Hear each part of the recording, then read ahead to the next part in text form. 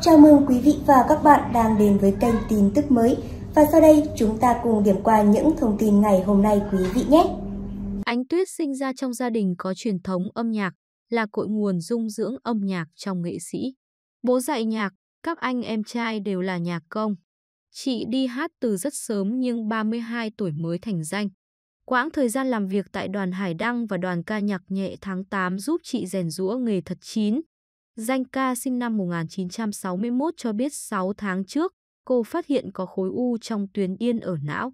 Hiện, Ánh Tuyết uống thuốc trong 2 năm để điều trị. Danh ca Ánh Tuyết kể nửa năm trước, cô đến bệnh viện xét nghiệm và phát hiện khối u ở tuyến yên trong não. Sau đó, cô tập trung điều trị theo phác đồ của bác sĩ. Hiện, sức khỏe nữ ca sĩ đã cải thiện và tiếp tục uống thuốc trong vòng 2 năm. Từ nhỏ, tôi là người có sức khỏe yếu, mắc nhiều bệnh và phải thường xuyên uống đủ loại thuốc. 6 tháng trước, tôi đau nhức khắp người và không thể di chuyển. Một bác sĩ gần nhà nghi tôi có khối u trong não. Tôi đến bệnh viện xét nghiệm và được kết luận là có khối u trong tuyến yên ở não. May mắn là u lành tính, cô chia sẻ. Theo danh ca Ánh Tuyết, cô có vấn đề về cột sống và hẹp khe đốt sống cổ trong nhiều năm. Nữ ca sĩ sinh năm 1961 từng trải qua 3 lần phẫu thuật. Sau quá trình mổ và lắp nẹp, cô thường xuyên bị đau thần kinh tọa, phải uống thuốc giảm đau. Tôi là người sống lạc quan nên ít khi than thở về bệnh tật. Mọi người luôn thấy tôi dạng dỡ, cười tươi, không ai nghĩ tôi mắc nhiều bệnh, cô tâm sự. Hiện, danh ca Ánh Tuyết sống cùng ông xã tại Hội An Quảng Nam. Hàng ngày, hai vợ chồng cùng nhau đi ăn sáng, tập thể dục, trồng rau trong vườn. Ngoài ra, cô vẫn đi hát trong nhiều đêm nhạc, sự kiện. Ca sĩ Ánh Tuyết sinh năm 1961, tên thật là Trần Thị Tiết. Cô là giọng ca nổi tiếng với các tác phẩm của nhạc sĩ Văn Cao. Nữ ca sĩ được khán giả yêu mến qua nhiều nhạc phẩm, có thể kể đến như Ô Con thuyền không bến, Cung đàn xưa, Ai lên xứ hoa đào, Trăng mờ bên suối. Nữ ca sĩ kết hôn với kỹ sư người Pháp và có một con trai sinh năm 1995. Con trai của Ánh Tuyết hiện sống và làm việc ở châu Âu. Vợ chồng danh ca quê Quảng Nam thỉnh thoảng sang thăm con khi có dịp. Ánh Tuyết hát nhạc văn cao và trở thành nàng thơ cuối đời cố nhạc sĩ như câu nói thành giai thoại.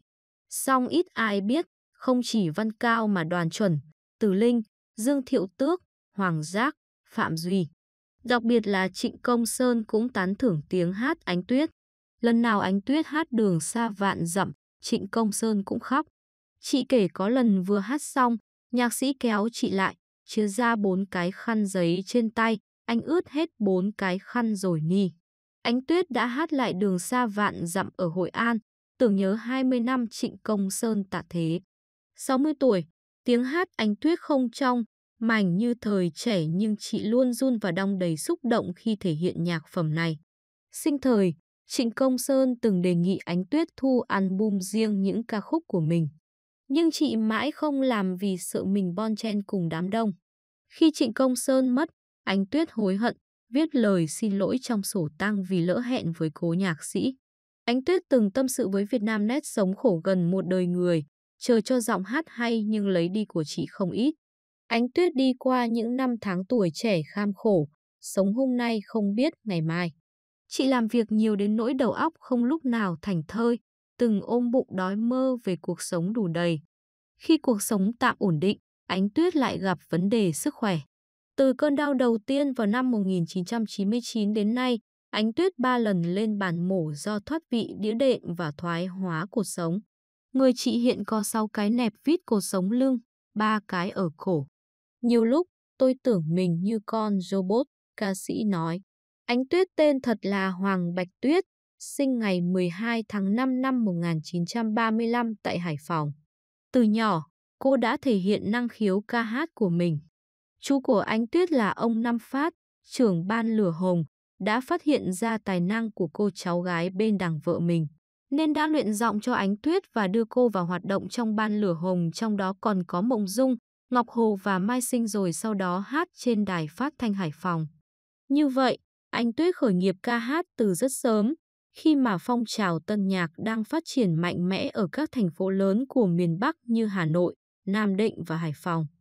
Năm 16 tuổi, lần đầu tiên anh TUIE trình diễn trước côn chúng tại nhà hát Hà Nội năm 1951. Về cuộc sống gia đình, Ánh Tuyết kết hôn lần đầu với ông Tôn Thất Tu, một sĩ quan quân lực Việt Nam Cộng Hòa. Họ có bốn người con. Nhưng được một thời gian thì hai người chia tay. Đến năm 1966, cô đi bước nữa với một sĩ quan người Mỹ và cũng là một khán giả ái mộ Ánh Tuyết. Sau khi cưới C Hồng cô quyết định giải nghệ, bỏ lại sau lưng ánh đèn hào quang khi đang ở trên đỉnh cao sự nghiệp trong niềm nuối tiếc của khán giả hâm mộ. Những người yêu mến cả giọng hát lẫn nhan sắc của cô. Ánh Tuyết cùng Xê Hồng rời Việt Nam sang định cư tại Hoa Kỳ, chính thức rời bỏ ánh đèn sân khấu vì lúc đã sang hải ngoại cô không còn tham gia vào bất cứ hoạt động âm nhạc nào nữa. Trong các hàng ngũ nữ ca sĩ tân nhạc từ cổ trí kim chỉ có Bích Thủy, Ánh Tuyết, Thùy Nhiên và Quỳnh Giao là có giọng kim. Nhưng giọng Ánh Tuyết ngọt ngào và lành lót nhất, tuy nhiên không điều luyện bằng giọng của Bích Thủy thời chiến tranh Đông Dương giữa Pháp và Việt Minh và giọng của Quỳnh Giao sau này. Và lại chuỗi ngân của chị bén nhọn như giang cưa.